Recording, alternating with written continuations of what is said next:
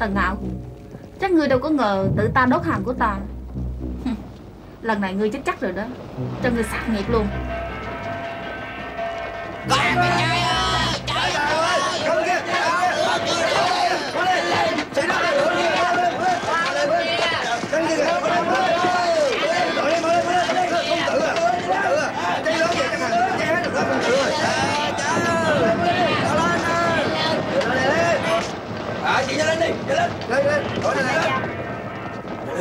Sao hả?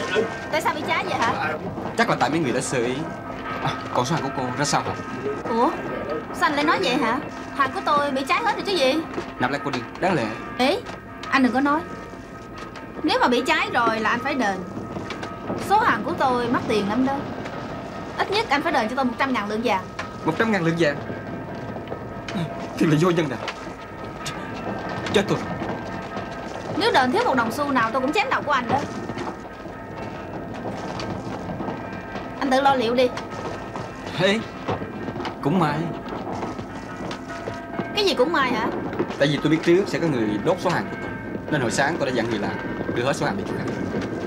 Dọn đi chỗ khác hết. Cái gì? Dọn đi chỗ khác hết rồi? Tục ngữ có nói là Chuyện gì cũng phải cẩn thận. Quả nhiên kho hàng bị cháy. Nếu mà tôi không có chuẩn bị trước Tôi sợ 100 ngàn lượng vàng Tôi đâu đền. Cô giết tôi còn hơn. Vậy Hàng trong đó là cái gì vậy? Ồ là hàng thường thôi mà. Hả hàng thường? Cho nên không có đáng giá gì mấy. Thiệt hơn A Di Ngươi! Ngươi!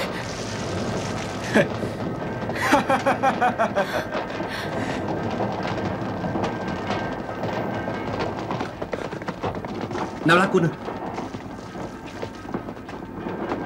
kho hàng tại sao bị cháy vậy? Tầng đại ca đâu Tần đại ca Tần đại ca. Tần đại ca của anh ở trong đó bị cháy như heo quay rồi đó. Cái gì? Tầng đại ca ở trong đó?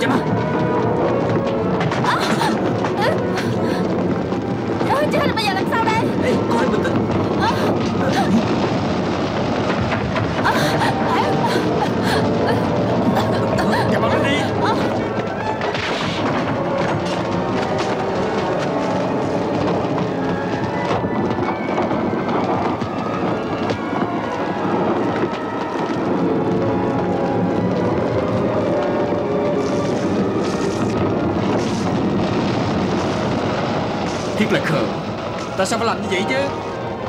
Nếu mà tôi kịp thời vào Hai người đã bị cháy chết rồi. Chửi tôi làm cái gì chứ?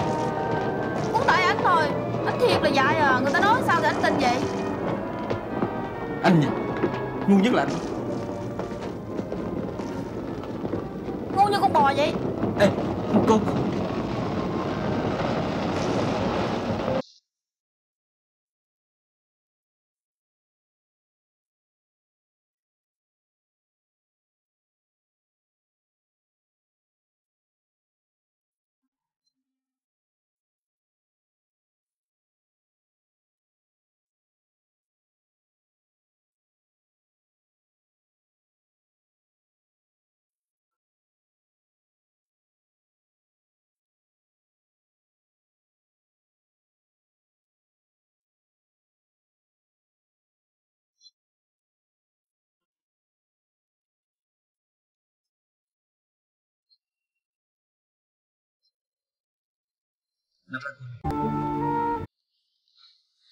Tôi còn tưởng là anh không tới nữa chứ. Sao không tới chứ? Tôi sợ cô phạt tôi đó. Ai à, biết anh tin người dễ dàng như vậy chứ. Cô biết không hả? Tôi tin cậy cô lắm đó. Nhưng mà tôi đâu có ngờ cô Anh muốn nói là Độc nhất là lòng dạ đàn bà đó hả? Ờ. Ha Tên tận ngạo gian thương kia Lại có người bạn tốt như anh vậy hả? Nạp La Quân Tần đại ca là người tốt đó. Trong lòng của anh Ai cũng là người tốt hết á. Tánh tình của anh như vậy Sống ở trên giang hồ dễ bị thiệt thòi lắm đó. Nhưng mà Tôi không thấy thẹn với lòng thì được rồi. Anh thiệt là Tôi không nói với anh nữa đâu. Chúng ta đi thử qua nha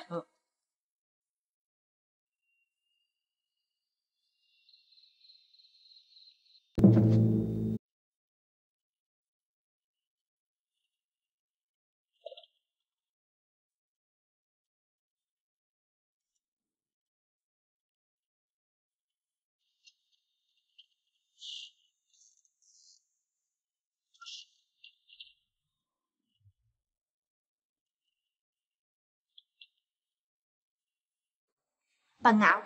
Nếu lần này ngươi không thua cho ta Ta thề không làm người.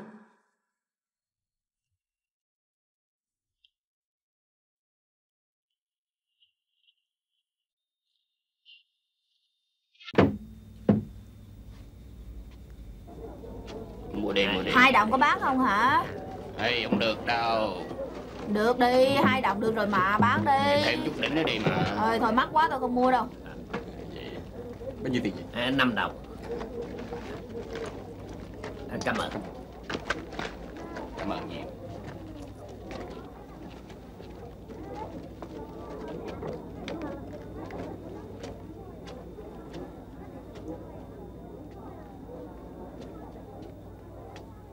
Tần đại ca.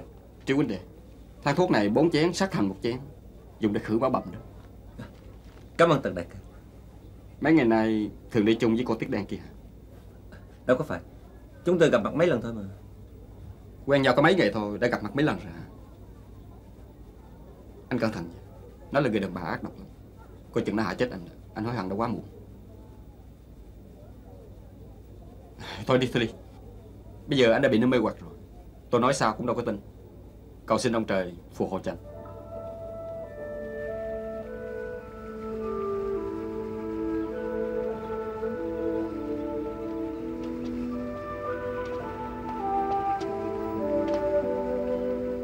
Cô là người Tiết Đan. Tôi có phải người Tiết Đan hay không? Đâu có quan hệ gì chứ. À đúng. Người Tiết Đan và người Hán cũng là người thôi. Nhưng mà bao nhiêu năm nay Tiết Đan và Trung Nguyên đã đánh chặt nhiều lần. Tuy rằng gọi nhau là huynh đệ chi bang Thật ra vẫn còn căng thẳng và đấu ngược Ê Anh đừng có nói chuyện này nữa Là mất hứng quá à. À đúng rồi. À được rồi. Nếu con không thích tôi sẽ không nói nữa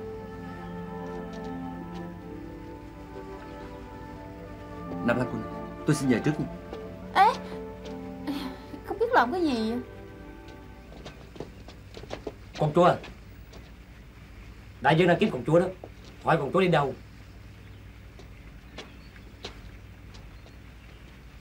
Tại sao con chúa không đi về?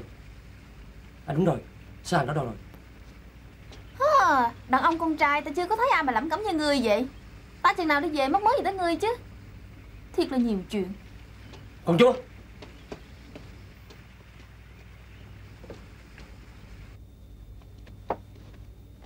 Chú Quyền. Chú ngồi đi. À đúng rồi chú Quyền. Thấy chú tinh thần hơn lúc trước nhiều đó. À tần đại ca. Tần công tử. Vết thương của tiền bối Đã khỏe chút nào chưa?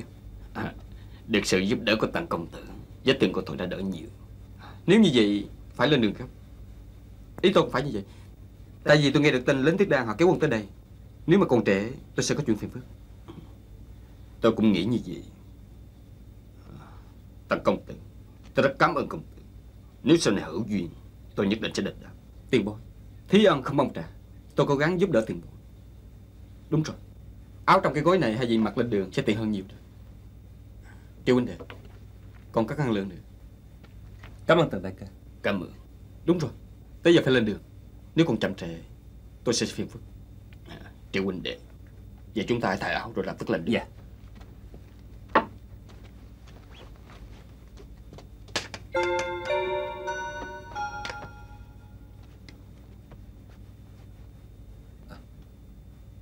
Tần đại ca, Cô dao ngắn này lúc tôi còn nhỏ là người bạn tốt của tôi tặng cho tôi đó. Tôi lúc nào cũng mang theo.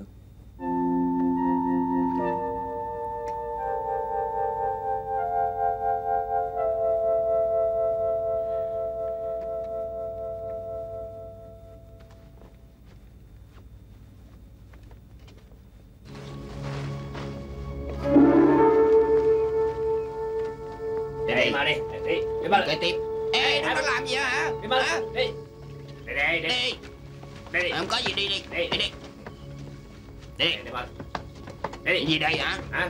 Hả? Đi đi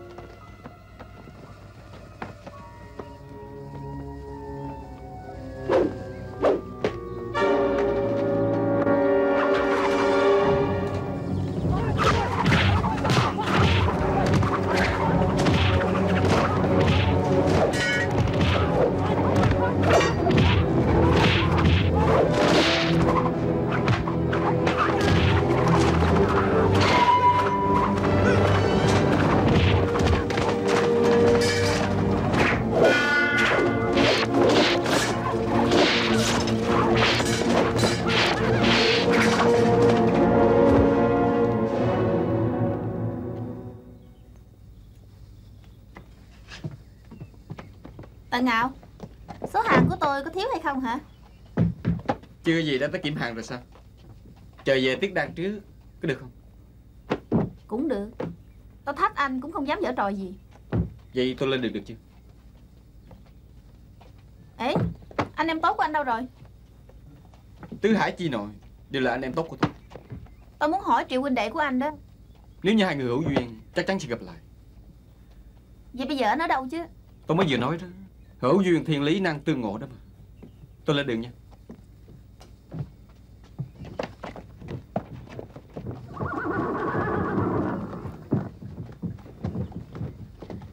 Đã xảy ra chuyện gì vậy? À quận chúa à Chúng tôi phát giác hành tung của tên thích khách hành thích đại dương đó.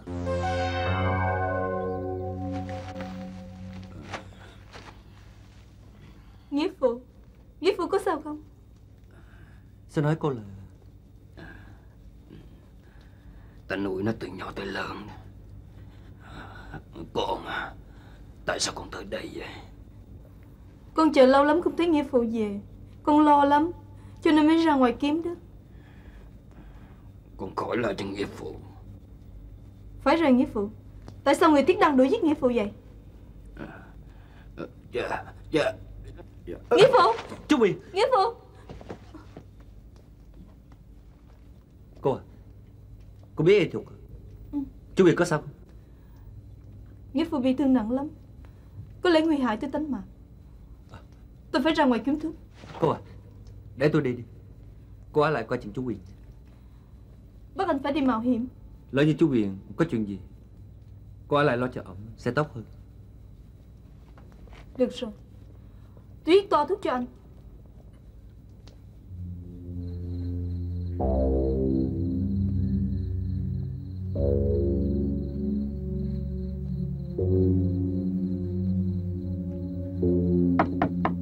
Ông chủ. Ông chủ mở cửa đi. Ai mà khuya quá vậy? Có chuyện gấp. Ông chủ hay là ông mở cửa đi? Được rồi chờ lát. Cái chuyện gì? Ông chủ làm ơn đi. Tôi có chuyện gấp Cần phải cứu người đó. À, Mời anh vô nhà trước đi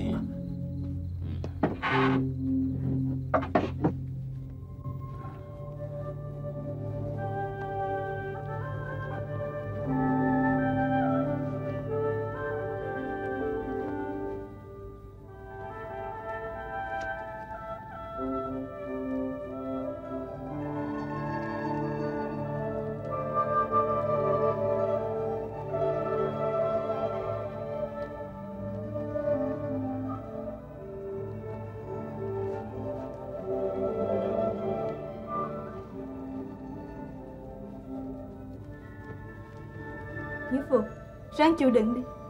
Sắp sửa có thuốc giải rồi. Tới chừng đó Nghĩa Phụ sẽ khỏe lại mà.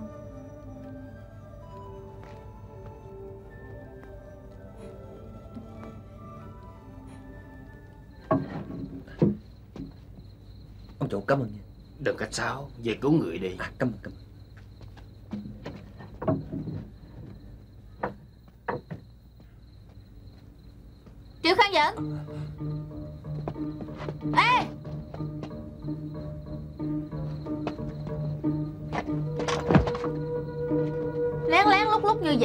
Bộ có chuyện bí mật không dám nói ra hả? Không có. Không có? Được rồi. Vậy để tôi kêu lính tiết đàn tới à, đây. À, Cô đừng đừng Bây giờ xin tôi rồi hả? Sao hồi nãy trước mặt tôi? Nạp Lan Quân Tôi không phải tránh mặt cô đâu. Vậy tại sao thấy mặt tôi là bỏ đi? Tại tôi có chuyện gấp mà. Đi đâu mà gấp dữ vậy? Ồ Đi kiếm thằng đại ca của anh hả? Anh đã đi tiết đan rồi Tôi phải về cứu người. Cứu người? Cứu ai mà gấp như vậy hả?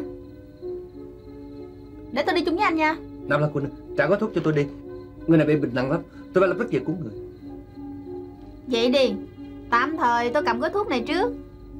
Anh dẫn tôi đi gặp người mà anh muốn cứu. Nếu mà tôi thấy người đó đáng cho anh cứu Vậy gói thuốc này tôi sẽ trả lại cho anh. À, Thôi được. Nhưng cô phải hứa với tôi là Không là ai bị thương nha. Được rồi Đi.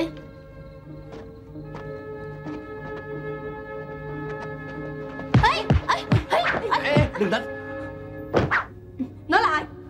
Ta là ai? Móc mối gì tới người chứ? Nè anh cũng thấy rồi chứ gì? Không phải là tôi đánh nó trước đâu Phải nó đánh tôi trước đó. Hà cô nương Tôi sẽ giải thích với cô sau Bây giờ cứu người trước. Trả lại gói thuốc cho tôi đi. Ồ Hồi nãy tôi có nói là phải coi người đó coi có đáng cứu hay không mà?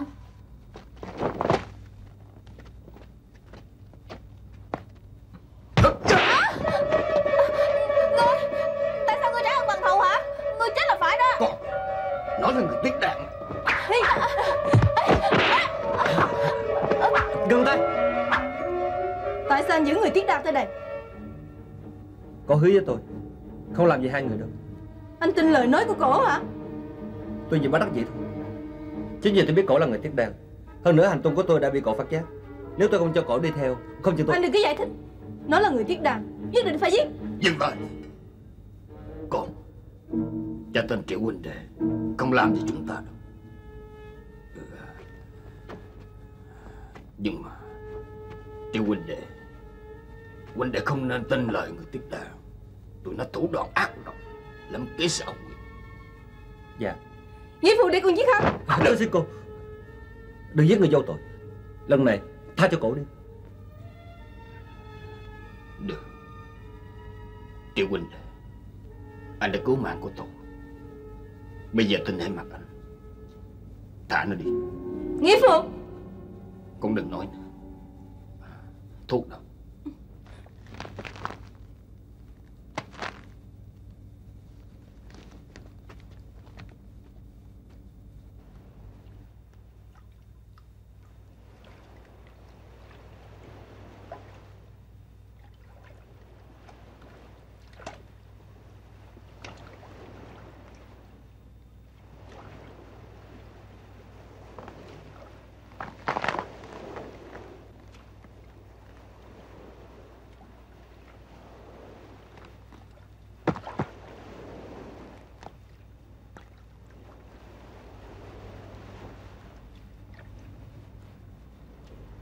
Nạp Lan Quân Cô phải cẩn thận. Triệu Khang giận Tôi ghét người lắm đó. Anh cùng với tụi nó ăn hiếp tôi. Nạp Lan Quân Tôi làm như vậy Tại vì bắt đắc dễ thôi.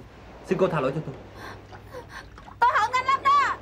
Nạp Lan Quân Về tới Tiết Đan Xin cho tôi gửi lời thăm tặng đại ca Triệu Khang giận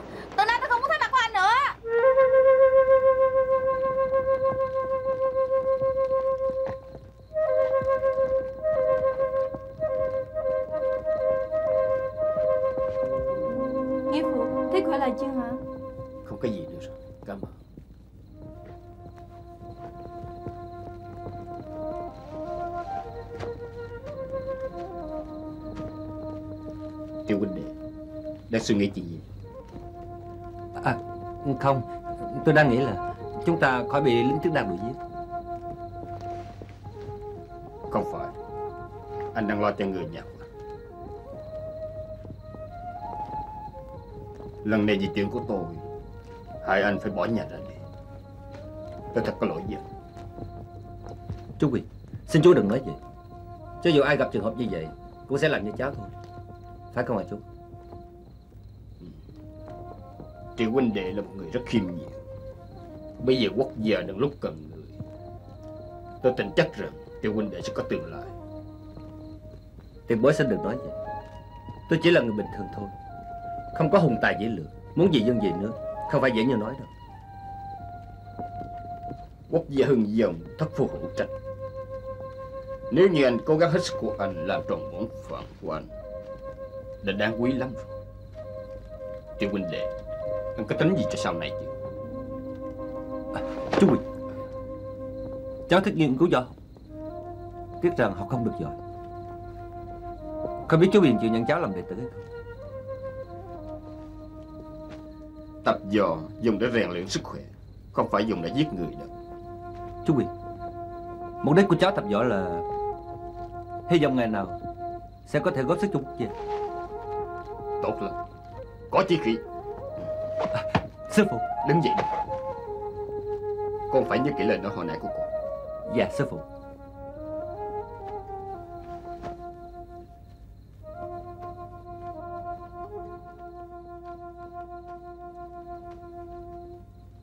Đàn nhi. Nghĩa phụ. Cho nhận triệu huynh đệ làm đệ tử con vui Vậy là gì chuyện gì Hành động của hội Phi Long định hành thích Bắc Quyển Đại Dương. Cha Cha còn có lệnh bài của hội Phi Long.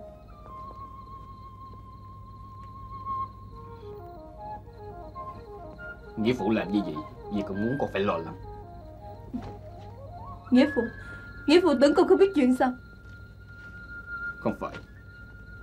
Nghĩa phụ biết con thông minh lắm. Nghĩa phụ à Hứa với con Từ nay đừng làm gì cho hội Phi Long nữa. Con Con yên tâm đi. Thân phận của nghĩa phụ đã bị bại lộ rồi. Từ nay không thể làm gì cho Phi Long nữa đâu. Thiệt đó hả? Con yên tâm. Từ nay nghĩa phụ không gạt con nữa. Sáng sớm ngày mai Chúng ta lập tức về trên núi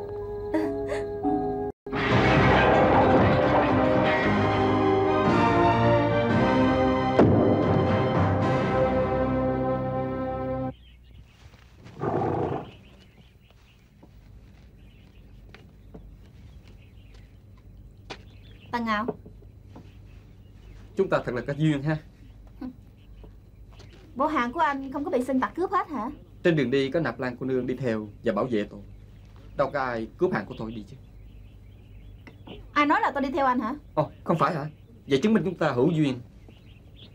Đúng rồi Kiếm được triệu đại ca của cô chứ. Đừng nhắc tới anh nữa. Tôi thấy hình như cô ghét ảnh còn hơn ghét tôi đó.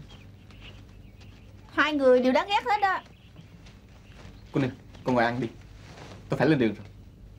Nếu như không số hàng của cô Sẽ không thể nào đưa tới Bắc Ẩn Đại Viên được. Tới lúc đó tôi phải chịu tội.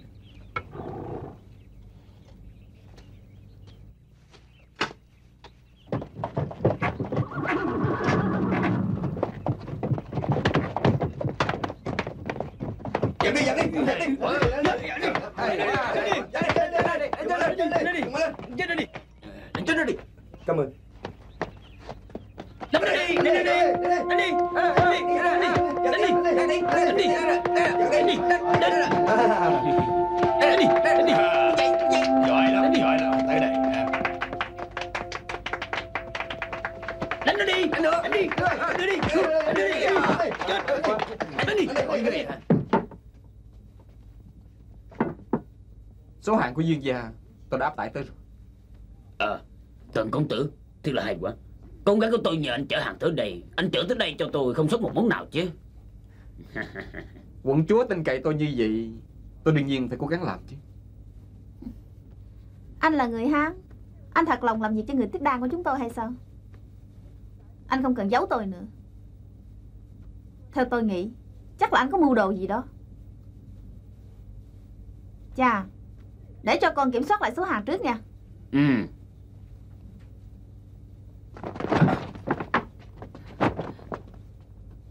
Trong hộp là cái gì vậy? Là nhân sâm đó Dương gia Là dao ngắn dùng để hành thích cha của ta đó.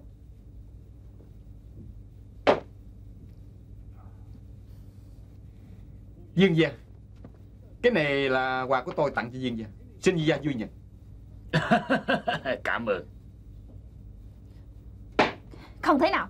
Rõ ràng trong này là cái dao ngắn mà. Ngươi. Ê con à Con đã hiểu lầm tần công tử rồi. Con không có hiểu lầm. À, Con của ta hỗn lắm. Xin công tử đừng chấp nhất nha. Tại vì bỗng nhiên cơn nổ của nó mới làm như vậy thôi. Cha. À Đó có phải Dương gia Mai đâu Lập tức dẫn công tử vào phòng khách chuyện ơi. Dạ Đắc công tử. Mời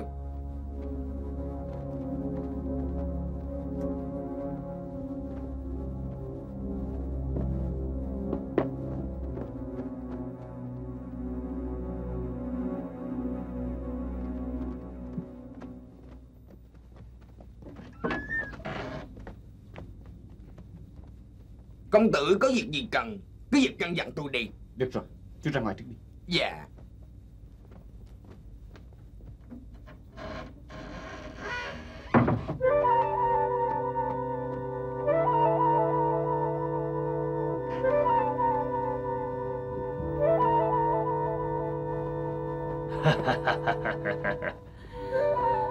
Thiệt là không ngờ Bản đồ quân sự quan trọng như vậy Do người Hán đưa tới tay của chúng ta. Đại dương Bây giờ chúng ta có bản đồ quân sự này Chờ đến thời cơ chín mùi. Chúng ta có thể đánh thẳng vào Trung Nguyên Hoàn thành bá nghiệp.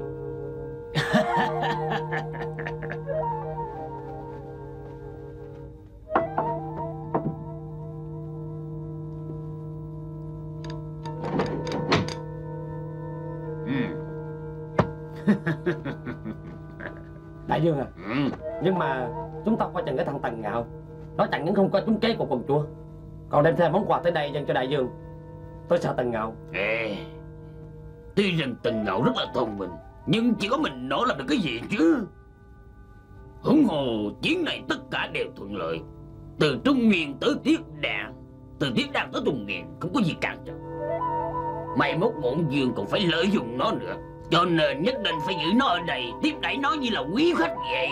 Múa chút làm người Để cho sau này làm việc cho bổn dương nữa.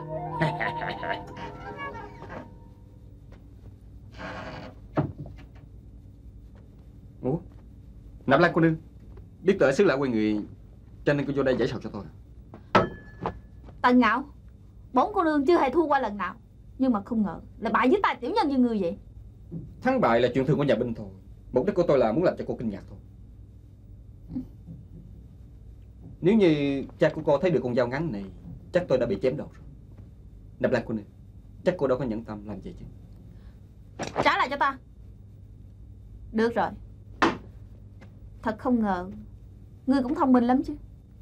Bốn cô nương thích nhất là làm bạn với những người thông minh như ngươi vậy. Tôi là người thấy lợi quên nghĩa đó. Cô không sợ bị thiệt thòi sao Nếu sợ người ta đâu phải là gia lục nạp lan. Nhưng mà Ngươi đừng có mừng dội. Nếu có cơ hội Ta nhất định không tha cho ngươi đâu. Ngươi phải tự lo liệu đi.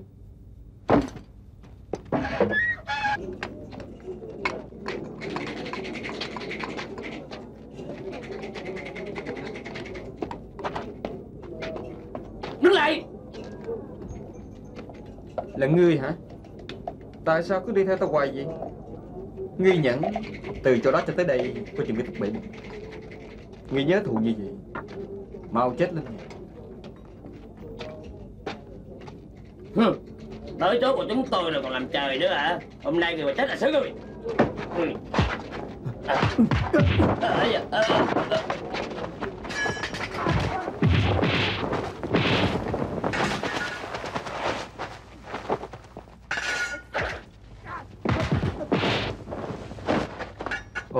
Gia lục tướng quân.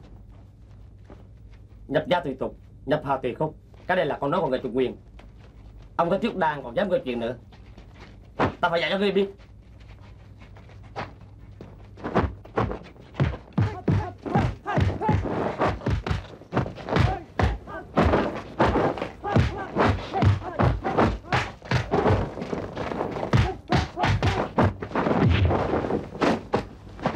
Gia luật tướng quân là người rất công bằng. Ra tay đi. Dừng tay. Gia luật Thế Thiên dừng tay. Ngươi làm gì vậy? Ngươi không biết Tần Ngạo là quý tần của chúng ta sao? Tần Ngạo? Cha tôi kêu tôi dẫn anh đi chơi đó. Cảm ơn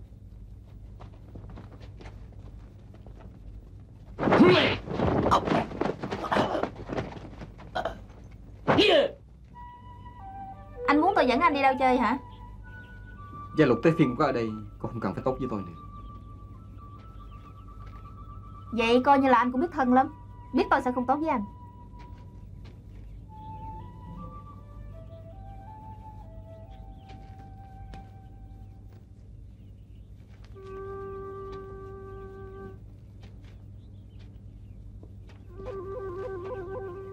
Sao anh biết thổi vậy Mấy cái này chỉ có người tiết đan chúng ta mới biết thổi thôi.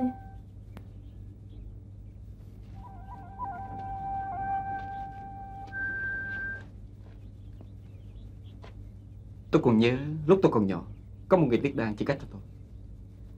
Ồ Hèn chi anh dám tới tiết đan của chúng tôi để buôn bán. Tôi cũng cảm thấy lạ lắm Tại sao anh quen thuộc với hoàn cảnh của tiết đan chúng tôi như vậy? À, Nhưng mà không có lý nào Cha tôi nói lúc tôi còn nhỏ, Quan hệ giữa người tiết đan và người trung nguyên Đâu có phải là tốt lắm đâu. Tại sao anh quen với người tiết đan vậy? Chuyện đời thay đổi, đâu có ai biết trước được. Trăng cũng có tròn, có khuyết. Hai chúng ta đang lẽ chống chọi với nhau. Nhưng bây giờ cũng tốt với nhau vậy.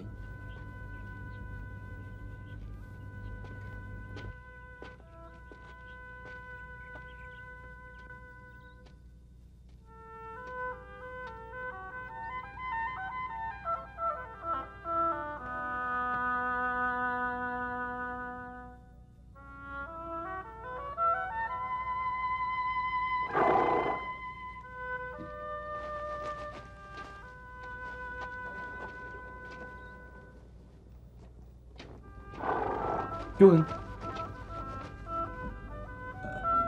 Là anh hả?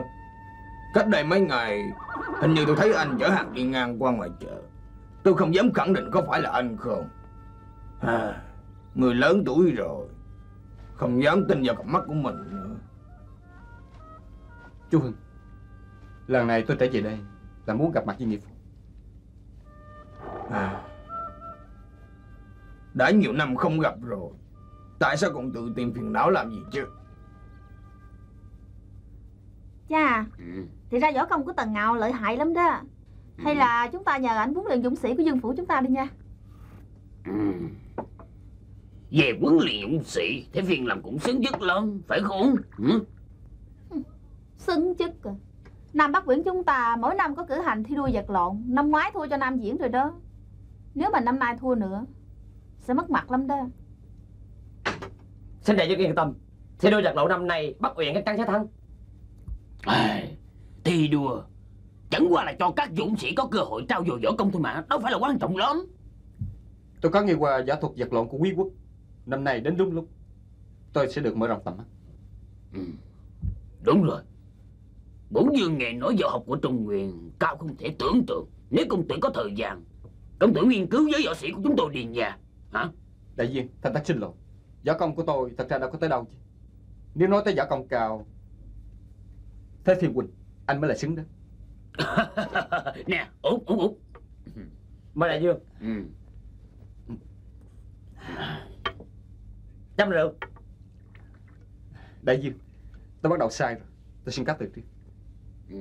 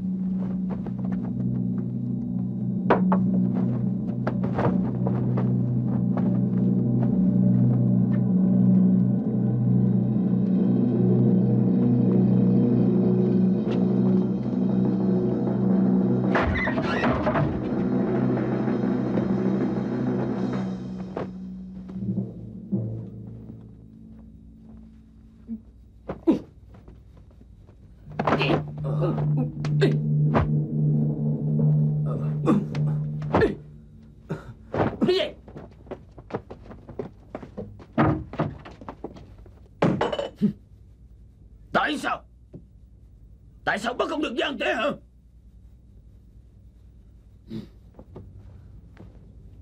Nếu là như vậy Chắc Trung Nguyên đã biết bản đồ quân sự đó đã nằm trong tay của ta. Từ nay ngươi phải cẩn thận hơn nữa. Phải coi chừng người Hán Cho người tới đây ăn cắp lại địa đồ của chúng ta.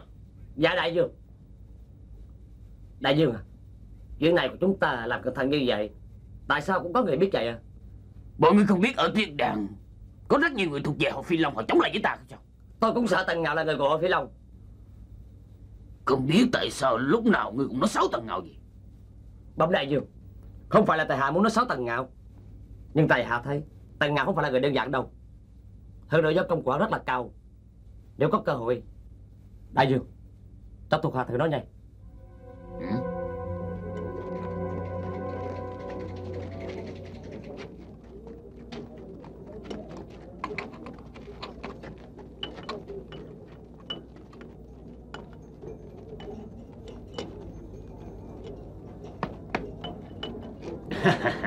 Chào chuyên gia Ta công tử Nạp Lan có dẫn công tử đi chơi không hả? Chuyên gia Không cần làm phiền buồn chú. Tôi chỉ đi ngang qua đây Nghe điện ở bên trong có tiếng tạch dọn Muốn cho coi thử. Vậy thì đúng lúc. Bổn Dương định vào trong thương lượng với Nam Nguyễn Đại Dương về ngày thi đua vật lộn Nếu công tử có hứng thú và đi chung đi nha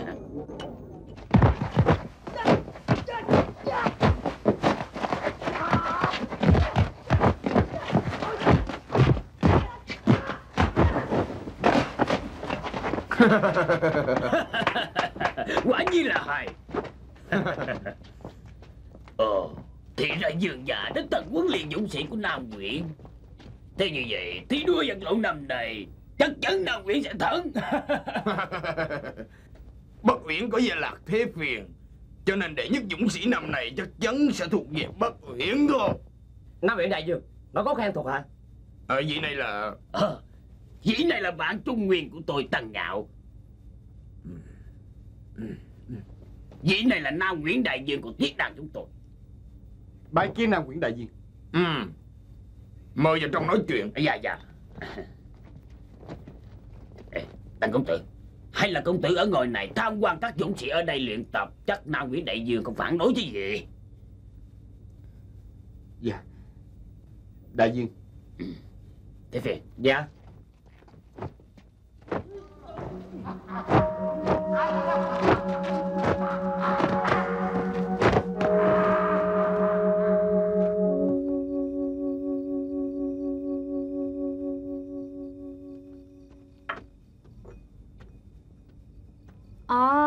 thì ra một mình ngồi ở đây uống rượu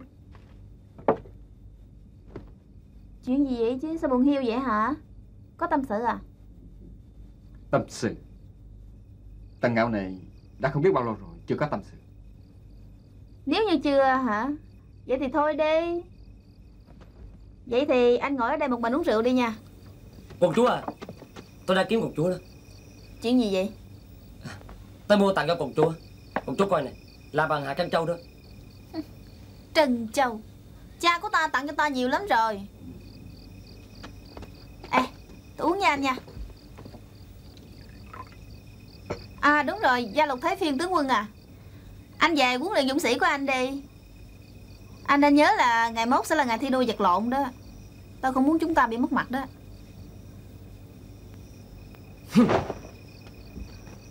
Quận chúa Sao thay đổi mau quá vậy?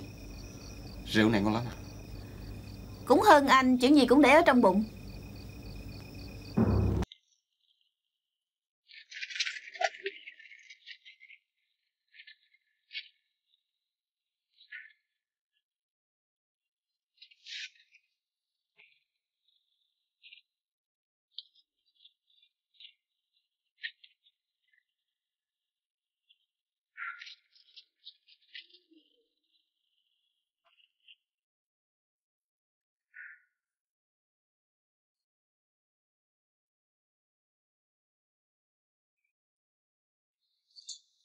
Đưa người ta tiền này Kìa.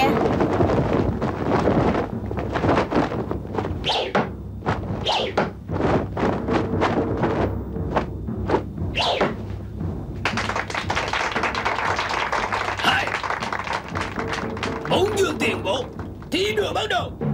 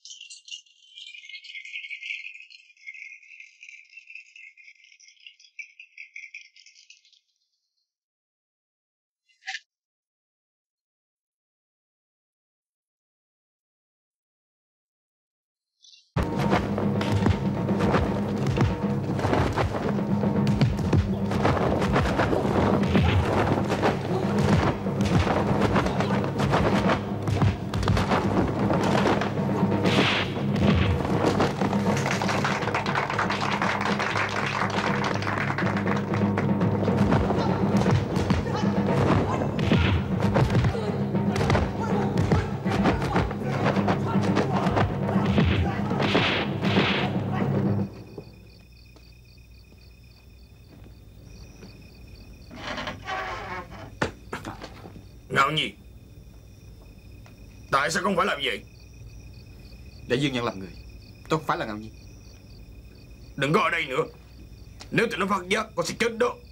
Chạy đi.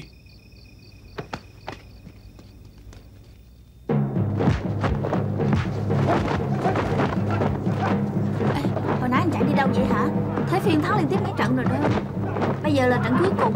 Nếu mà hắn thắng được nữa Hắn sẽ là dũng sĩ đệ nhất năm nay đó